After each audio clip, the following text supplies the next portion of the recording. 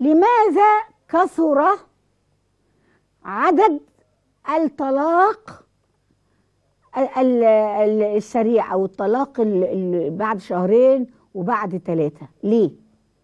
الأول كنا ياه أيام أمهاتنا وأيام آبائنا كانت الأسرة كده ممسوكة بالحديد وبالإحترام وبالإحترام لكل منهما.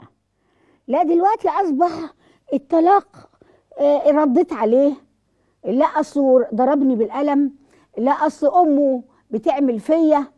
إيه ده؟ إيه اللي إحنا إحنا نظرنا لأولادنا؟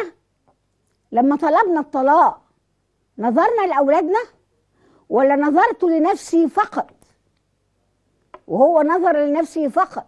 لا هو ما دام اتجوز عليا أنا مش عايزاه ده في زوجات يا جماعة بكل أسف تقول لك أفضل أن زوجي يصبح له عشيقة ولا يتزوج علي من أخرى.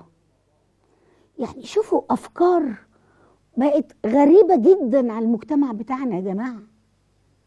يعني هل إحنا بنصل دلوقتي زي بعض البلاد اللي حرمت التعدد تماما وأباحت للمرأة أن تعشق أو تمشي أو مع عشيق ولا الرجل يتزوج عليها. أباحت للرجل عفوا أن يمشي مع عشيقة ولا يتزوج على زوجته. طب هو لما يمشي على مع عشيق هي هتمشي مع مين؟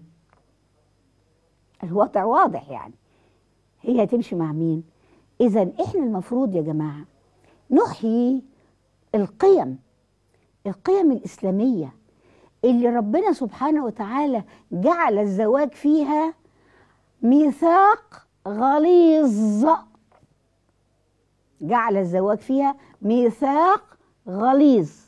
له أركانه له شروطه له واجباته له آدابه.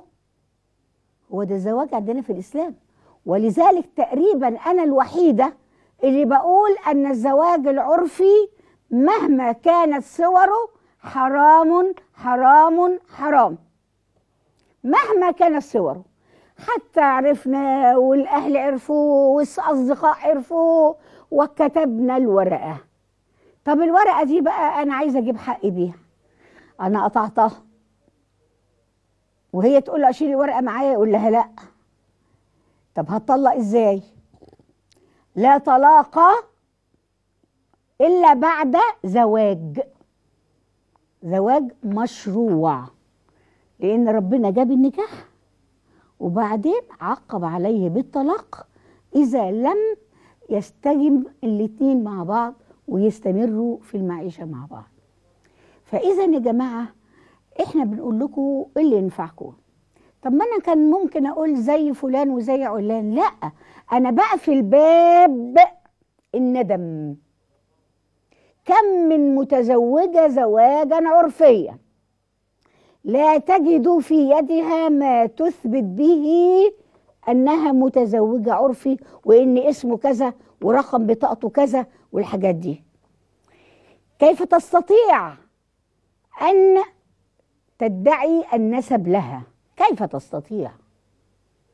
كيف تستطيع؟ ولذلك يعني إحنا مش عايزين يبقى في إغراء شيطاني.